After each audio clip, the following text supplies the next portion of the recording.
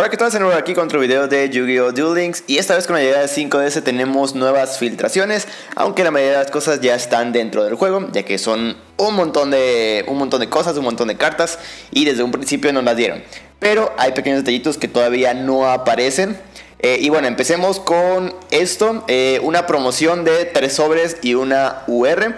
Eh, desgraciadamente, como dice ahí, hasta el final dice que nada más está habilitado por 7 días desde la instalación de la aplicación. Eso quiere decir que muy probablemente nada más sea para los nuevos jugadores. Pero bueno, para los viejos también, ¿qué información nos da esto? Que muy probablemente ya nunca vayamos a tener eh, la promoción de TR sobres y una UR habilitada para todos.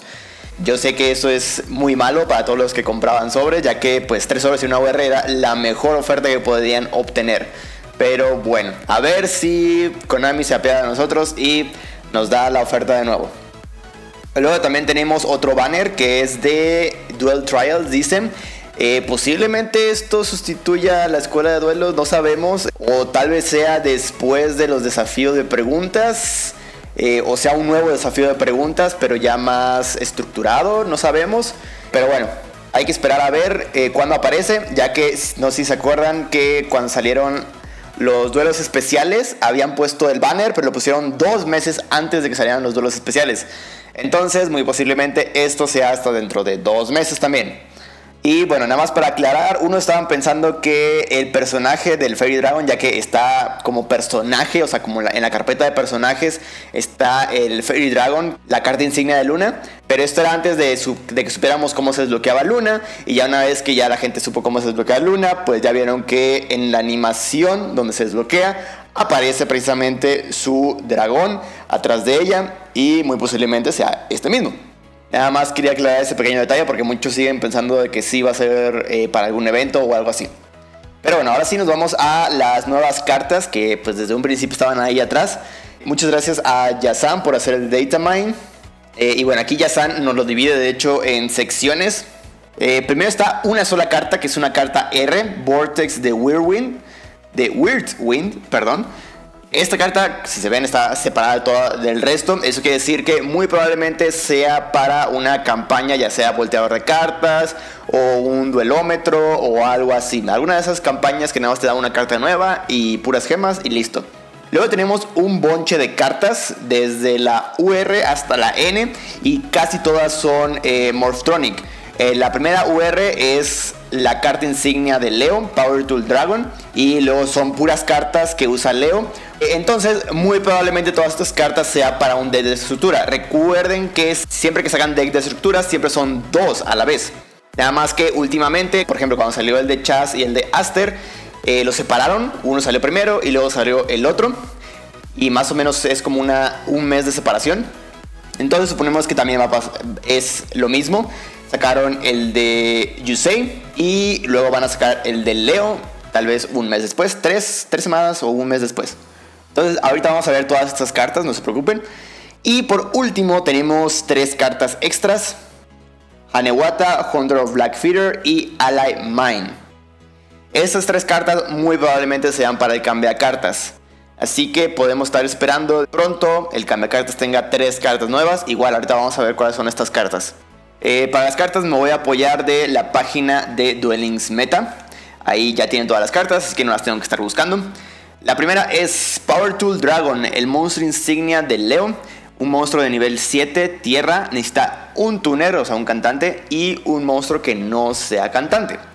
Y dice, una vez por turno puedes revelar tres cartas de equipo desde tu deck Luego tu oponente elige al azar una de ellas y se añade a tu mano y las demás se barajean de regreso al deck. Eh, si esta carta fuera a ser destruida mientras está equipada con una carta de equipo, puedes mandar una de esas cartas al cementerio. ¿Ok? Pero ojo, nada más es si fuera a ser destruida, ya sea por efecto o por batalla. Entonces, si te la remueven, obviamente no puedes hacer nada y se remueve tu monstruo. Luego la siguiente es Naturia Leo, Leodrake. Es un sincro de 9 estrellas. Necesitas un tuner, pero que sea de tipo tierra, de atributo tierra, y uno o más monstruos que no sean cantantes de atributo tierra también. Y parece que no tienen ninguna habilidad, o sea, no tienen ningún efecto. 3000 de ataque. Me. No la veo tan buena, lo único es su ataque, pero pues la verdad, mejor convoca un dragón blanco y listo. Y luego tenemos Morphtronic Scopen. Scopen. Nivel 3 es un cantante. Y dice, mientras está en posición de ataque, una vez por turno, puedes convocar de modo especial un monstruo de nivel 4 Morphtronic desde tu mano. Destruyelo durante la end phase. Eso quiere decir, eso es simplemente para que tú puedas hacer una sincronía, ya que este es un cantante de nivel 3 y puedes convocar un monstruo de nivel 4, ya tienes 7 estrellas justamente para poder hacer tu Power Tool Dragon. Luego dice, mientras está en posición de defensa, el nivel de esta carta es 4, ¿ok? Por si necesitas otro nivel, por si necesitas hacer una invocación de sincronía de algún otro monstruo, pues también tienes esta opción. Luego está Morphtronic Cell Phone. Mientras está en posición de ataque, una vez por turno puedes tirar un dado. Revela cartas del tope de tu deck igual al número que sacaste y convoca de modo especial un monstruo de nivel 4 o menor de los que hayas sacado, ignorando su condición de invocación. Barajea el resto al deck. Eh, ok, está muy bien para estar convocando especialmente. Lo único malo es que no es un tuner y es de una estrella y que tiene muy poco ataque de defensa. Pero bueno, también de defensa dice que una vez por turno puedes tirar un dado. Eh, mira el tope de tu deck igual al número que tiraste y luego regresalas en el mismo orden. Eh, supongo que esto es para ver cuáles tocan y si te conviene, pues cambiarlo a posición de ataque y ahora sí, tratar de convocar uno de esos monstruos que viste. Luego está Junk Box. Dice, selecciona y convoca de modo especial un monstruo de nivel 4 o menor que sea Morphtronic desde tu cementerio. Eh, destruyelo al final del turno. Ok, simplemente también supongo que es para sacrificarlo o para hacer una sincronía. Luego tenemos eh, Morphtronic Accelerator. Regresa un monstruo Morphtronic de tu mano al deck. Destruye una carta en el campo y luego roba una carta. ¡Wow! Esta sí la veo poderosa. Digo, nada más haces un cambio de, carta. Pero aparte también puedes destruir una, una, carta en el campo, la que tú quieras. Puede ser magia, trampa o monstruo. Entonces, muy bien. Eh, luego está Morphtronic Radion. Cuatro estrellas. Dicen, está en posición de ataque. Los monstruos Morphtronic que controlas ganan 800 de ataque. Mientras están en defensa, los monstruos Morphtronic que controles ganan 1000 de defensa. Ok, en otras palabras, tiene de, base tiene 1800 de ataque y de defensa tiene 1900 de defensa. Muy bien, sus stats están muy bien, la verdad. Luego tenemos a Morphtronic Slingen. Mientras está en posición de ataque, una vez por turno puedes sacrificar un monstruo Morphtronic, excepto esta carta, bueno, excepto estos monstruos, eh, para destruir una carta en el campo. Mientras está en posición de defensa, si esta carta fuera a ser destruida, puedes destruir otro monstruo Morphtronic eh, que controles en su lugar. Más o menos, la verdad no, la veo tan buena. Luego está Morphtronic Remoten, es la carta que da Leo en su habilidad.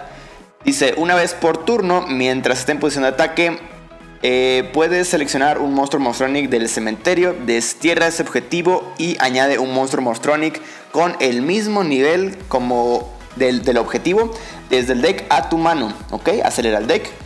Y también dice, una vez por turno, mientras esta carta está en posición de defensa, puedes mandar un monstruo Morphtronic desde tu mano al cementerio. Añade otro monstruo Morphtronic con el mismo nivel que el monstruo que enviaste a tu mano. Ok, también es un acelerador muy bueno.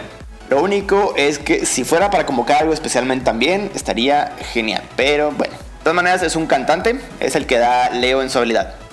Luego tenemos Double Tool C&D. Déjenme nada más bajar un poquito esto para que puedan ver bien todo. Ahora sí, Double Tool C&D. Equípalo nada más a Power Tool Dragon o a un monstruo de nivel 4 o más que sea de tipo máquina y que sea Morphtronic que controles. Mientras esté equipado, durante tu turno, este gana 1000 de ataque. Si atacan, cualquier efecto del monstruo que esté atacando eh, es negado durante la Battle Phase. Ok, muy bien. Y durante el turno de tu oponente, Tu oponente no puede seleccionar otro monstruo que no sea el equipado como su objetivo de ataque. Un monstruo del oponente que ataque con el monstruo equipado es destruido al final del damage step. Uf, muy bien. La veo muy buena. Es una carta R, pero pues está poderosa. Luego tenemos Morphronic Engine. Eh, equípalo nada más a un monstruo de nivel 3 Morphronic. Su ataque se convierte en el doble de su ataque original. Wow. Durante la segunda Standby Phase, después de la activación de esta carta, destruye esta carta y tomas daño igual al ataque original del monstruo equipado. Ah, ok. Eh, no está tan, tan poderosa. Digo, eh, lo dobla, pero el problema es que nada más es un Morstronic de nivel 3. Luego, Power Pickaxe. Una vez por turno puedes seleccionar y remover del juego un monstruo del cementerio de tu adversario cuyo nivel sea menor o igual al monstruo equipado. También eh, haz que el monstruo equipado gane 500 puntos de ataque hasta el final del turno. El problema es que está restringido a qué monstruos puedes remover. No, no la veo tan buena. Pero bueno, es una carta de equipo para los Morph Luego tenemos Morph Transition. Activa solamente cuando un monstruo Morstronic boca arriba de controles es seleccionado como un ataque, como un objetivo de ataque. Niega el ataque. Luego cambia la posición de batalla del monstruo seleccionado Morstronic. Ok, muy bien. Y bueno, eso es para que el Morstronic pueda ganar su otro efecto también. Luego tenemos Morstronic Force Shield.